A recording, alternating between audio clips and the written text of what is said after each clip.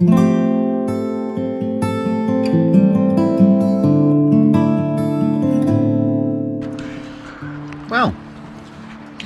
hello folks.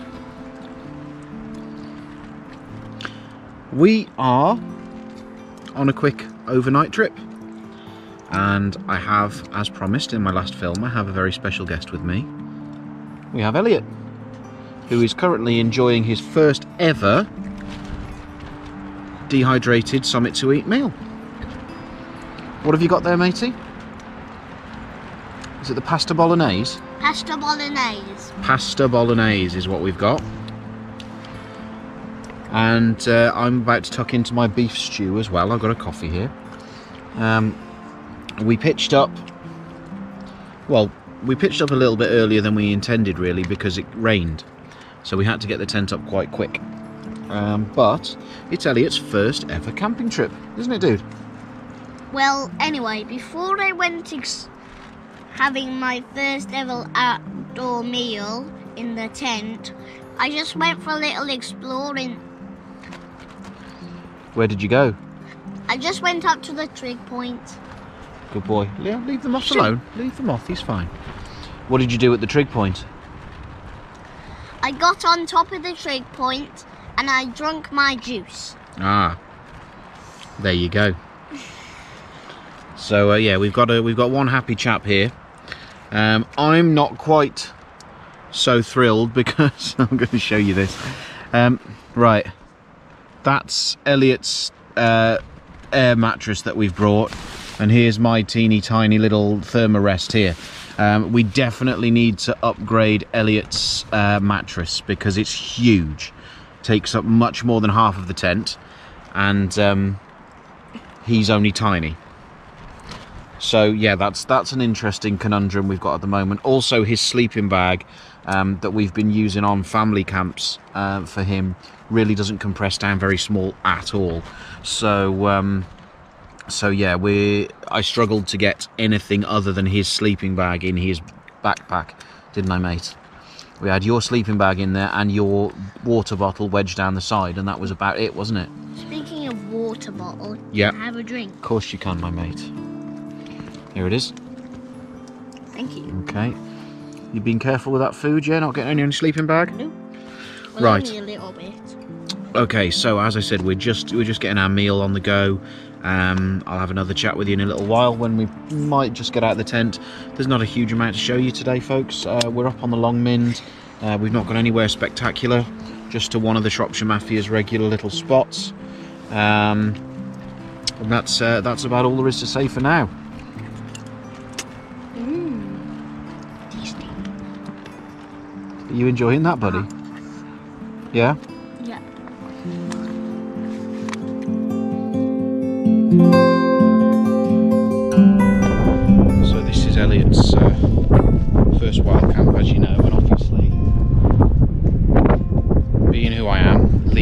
Trace is featuring quite heavily in our discussions this evening. He is going to be a major exponent of Leave No Trace. If I have anything to say about the matter at all, I don't think we, we don't need to have another discussion about Leave No Trace. You know my feelings on it. You know how I feel uh, a, wild camp should be conducted.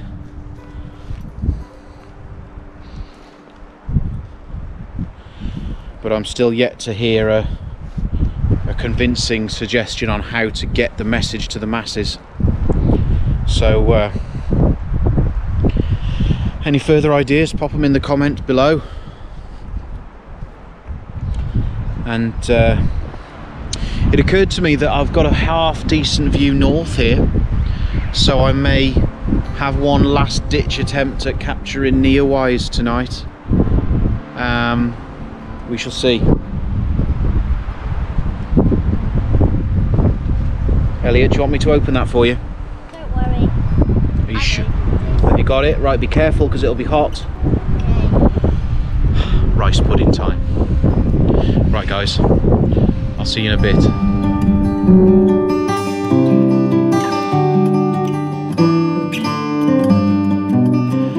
folks, I thought I'd start a little bit of a um, little bit of a series of leave no trace tips.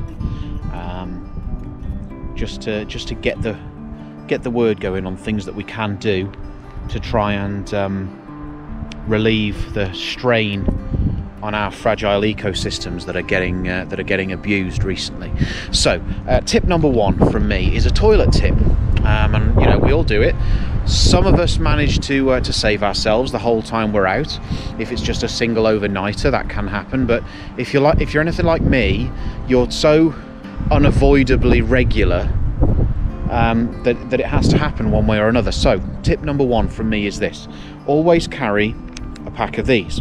These are biodegradable wet wipes, okay? And I have found, it, well, it doesn't matter that they're biodegradable actually, as you'll understand from the next thing that I'm going to tell you. Um, I have found that empty dehydrated meal packets like this are absolutely ideal as long as you can aim um, for carrying out things that you don't want um, that you don't want to be getting all over your hands obviously. And now I know people out there are going to be saying no no bury it that's fine. Um, as long as you bury it deep enough of course because you don't want wild animals coming and digging stuff up. And if you are going to bury it then definitely biodegradable ones of these are 100% the way to go. Um, some people say that you can burn these once they're in the hole um, but either way what I don't like, what no one needs to see ever, is these sat alongside a trail or under a tree somewhere, um, or covering a you know, a pile of something unpleasant. No one needs that. No one wants that. That is unacceptable. Okay, so that is wild camping. Leave no trace. Tip number one from Wild Astro. Um, wet wipes and an empty meal packet for your business. Hello, and this. Actually, we're going to bed now, but Daddy's going to give me some cuddles after we've done this video. Of course I am. What's your name, Daddy? What's my name? You know what my name is, you cheeky monkey. Right, okay, bud. So, what do you what do you make of your first wild camp then? What do you think? Well, it's kind of fun. It is kind of fun, isn't it? Yeah, Yeah. yeah. Yeah, it's been a bit cold and rainy and windy, hasn't it? But have we enjoyed it? Yes. Yes, we have. Okay. So when we get up in the morning, we're gonna, we're going to well, go to sleep we've sort of been in the tent all day. We've been in the we've been in the tent quite We've a done long some time. exploring. Yeah. though. We've had a little bit of an explore around the Longmynd, haven't we? Yeah. yeah. But We've seen some horse poo. yeah. Oh, I told you though. It's we only. think we think we've been camping where wild horse ponies have been. Yeah, we are, aren't we? Definitely. Because there are wild ponies on the Longmynd. Okay, right, so we're going to bed now. Um, and then we'll get up in the morning and pack up. But what's the most important thing we have to remember when we get up in the morning? Leave no trace. Leave no trace, good boy. And that, folks, is how we're going to get the message across. I'm afraid it's going to get worse before it gets better, but grassroots, I think, is where we have to start. So, this is me and Elliott signing off for the evening. Say night night, El. Night night. Night night, folks. We'll see you in the morning.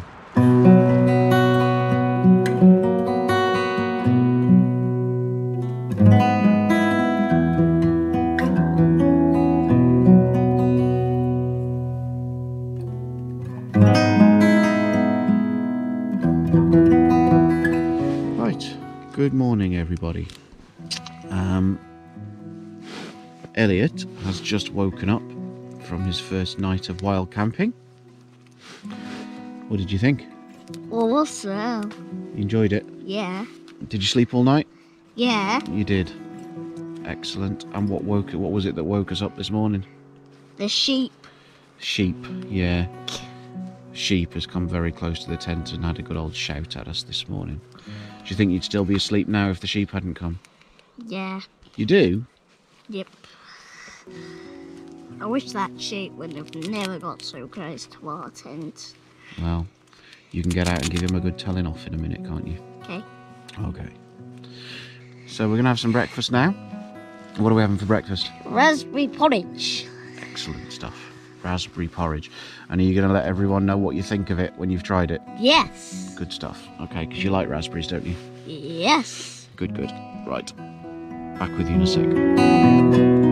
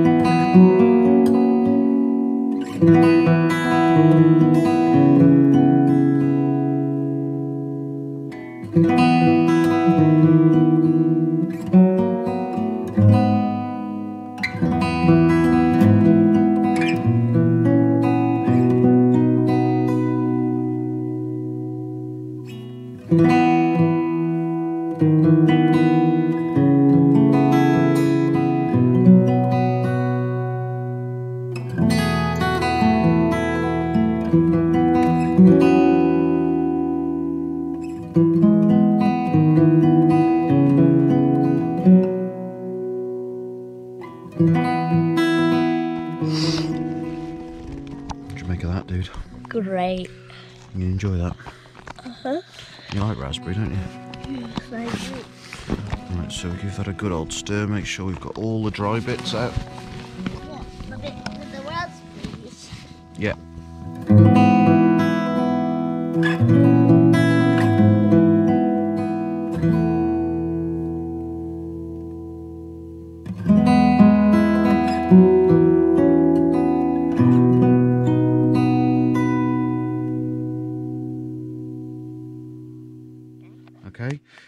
So Elliott is just finishing off his Summit to Eat morning oats with raspberry. What do you think, mate? Awesome. Yeah? Tasty? Yeah. Okay. You Can you, bet. can you poss- can you really taste the raspberry in it? Yeah. Yeah. And it's not too sloppy. Has dad has daddy done a good job of making it properly? Yeah. Mm-hmm. Okay. Oh. Wow. Big full mouth. Yeah. Right, so what are we going to do next, do you think? No idea. No idea. Mm-hmm. Well, I think what we'll do next, folks, is probably start packing away. Because this big old airbed that Elliott's been on all night is going to be quite a job. Mm. Getting it down small enough to fit in a bag. Hello. Well, we're just in the process of packing up, and I wanted to show you something. Um, if you've seen the first video uh, of mine where I met Dave outdoors uh, for the first time when we came up here to this very spot, um, you'll know I, kn- I mentioned a, uh, a fire scar that was in the ground. Now, I reckon that was probably nearly a year ago now. Uh, so, I wanted to show you what a year's healing on a ground fire looks like. And we've pitched right next to it. Here it is. So, that was a fresh fire scar, all black and nasty, about a year ago. Um, and you can see there is some, the grass has started to, to recover. It's done quite a good job, but there are still parts of the soil where the grass hasn't managed to get to. So, you know, there are still little bits of burnt wood in there. That's the kind of scar you leave if you just drop a fire on the ground and don't look after it. Um, the strange thing is, it looks as if whoever did this has cut away the turf, you know, to have their fire and then just not bothered putting it back again afterwards. It, it's. It's sad because our countryside is getting, you know, just covered in, in horrible marks like this, and this is a small one. This is a very, very small little. I mean, it's about what 18 inches across, maybe two feet. We've been seeing some huge, huge fire scars, haven't we, recently? And uh, yeah, it's it's it's one of those things, isn't it? If you arrive somewhere and there's a fire scar there already, then you're much more likely, if you don't follow the leave no trace ethics, you're much more likely to think, okay, someone's had a fire here before, I can do it again. No. I'm, don't get me wrong. Look, I'm not. I'm not against fires. I'm not against fires. but there's a better way of doing it than having it on the ground. Okay, there are too many options now for raising your fire up off the ground to to ignore that possibility any any longer. You know, there are bush boxes, there are raised fire platforms. You can get lots and lots of heat out of even the tiniest little bush box. Um, so, folks, raise your fire up, raise your fire up off the ground. There's no need to pop it on the ground anymore. Um, that's it. That's my that's my two pence worth on fires. Um, I'm not going to start arguments with anyone over it. I don't I don't need to have a, a huge debate. If you are absolutely dead set that your way of having a fire on the ground leaves no trace, well then more power to you. But how anyone can believe that lighting a fire on the ground can do no damage, that I don't really get.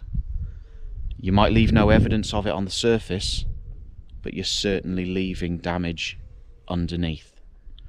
So just think about it because we've got to protect these landscapes. Um, we're the responsible ones. We're the ones that love the places we get out to, and to protect our own way of life and our own future that we that we love coming out here to do. We've got to take responsibility for what we do. And that really is my two pence worth.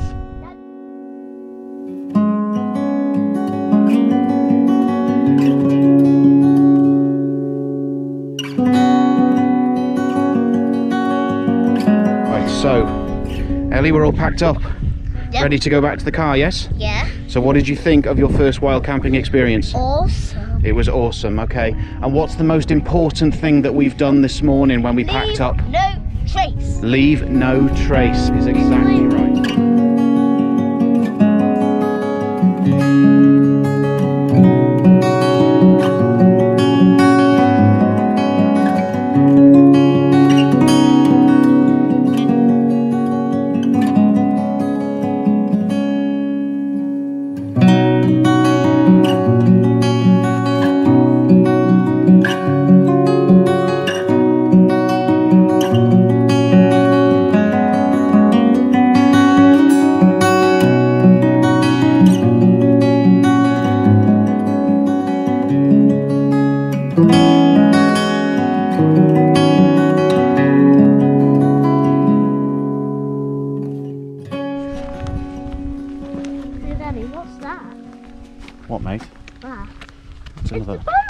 Bone.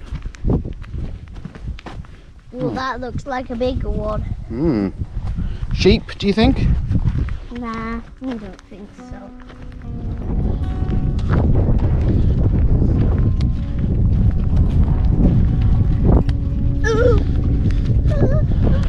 I think we've got us another wild camper, folks.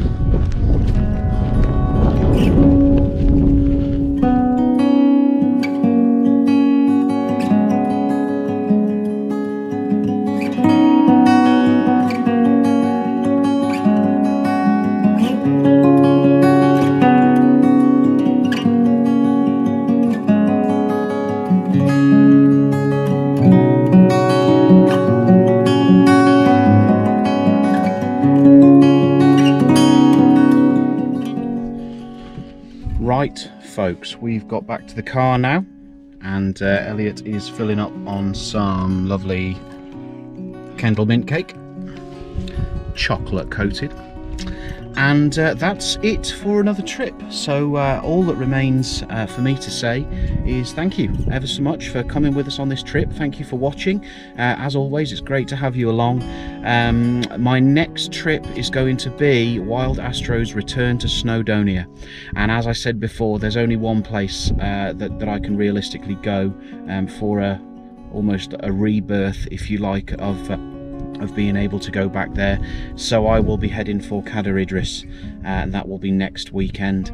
Um, so please join me for that. Uh, it's likely to be um, it's likely to be pretty epic, and uh, possibly a bit emotional. Um, so I'm really looking forward to it. I hope you join me for that. If you like what you've seen on this uh, film today, please uh, hit that like button, leave a comment or ask me any questions below, um, and subscribe. Share the video with your friends, hit that subscribe button and, and the little bell uh, so that you don't miss any of my upcoming films. Um, but other than that, I will see you on the trail. Say goodbye, Elliott. Bye. And this is Richie for Wild Astro, signing off.